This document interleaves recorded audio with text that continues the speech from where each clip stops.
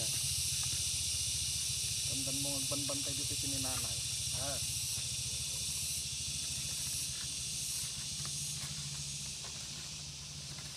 Mas,